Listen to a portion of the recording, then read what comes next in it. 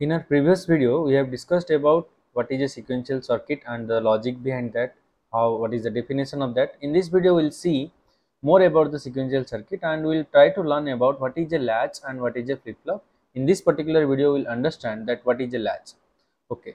Now, what is a latch? So, latches are the storage element that operate with signal levels or we say that level triggering. That means it will store a signal level or the signal level is high or the signal level is low where high uh, represents your 0 1 and the low represents your 1 0 however there is another kind of memory element that is called as flip flop which uh, storage element that operate with a signal transition or edge triggering. These are called edge trigger devices. Now what is this level triggering? What is this edge triggering? Basically they will store a uh, status of the signal either it is high or low means that is 1 or 0 but they work on the basics of triggering how these devices actually store the data.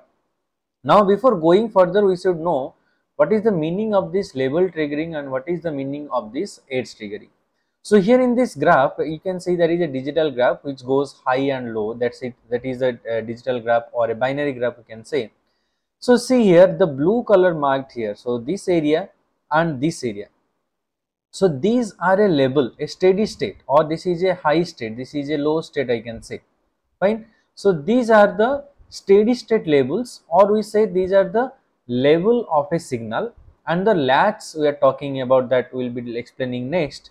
So latch is a basically operating device on these labels. It is called as a label, uh, level triggering or it is also called as it operates with signal labels so this is a label for a signal, this is a label for a signal. Similarly, here also there is a label. So this one is a label and this one is a label. In this area also it will work. Okay, next type is edge triggering. So what is this edge triggering? Now in this signal you can see this side is a edge, this is a edge, this one is a edge, again this one is a edge. So edge means what? Where the signal changes its level from high to low or low to high. Now there are two types of edges, edges are there. So one is called as your positive edge, another is called as your negative edge.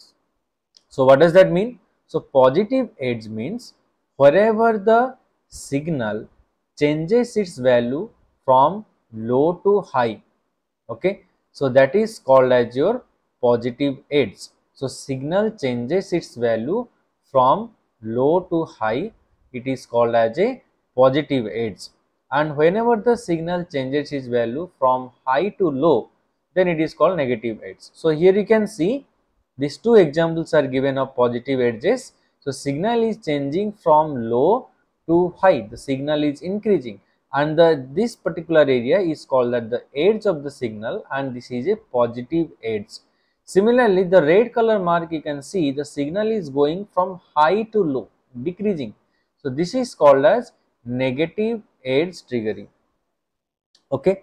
So this is the uh, scenario. So we are considering that this is the level 0 or 0 volt this is level 1 or you can say this is 5 volt or 12 volt or whatever signal is given. Now flip flop operates on these edges it may be negative edge triggering it may be positive edge triggering uh, triggering depending on which type of gates are used there. And latches are the device that uses these labels these are called as level triggering. So next uh, uh, we'll try to understand what is a latch. So basically latch are two types of latches are there. One is called as SR latch, one is called a D latch. So we'll start with understanding what is a SR latch. In the uh, next video we'll see that discussing about the SR latch, how it works. So what do you mean by SR, why the name is SR and then we'll go with the D latch. So Uh, see the next video for the understanding of the SR latch.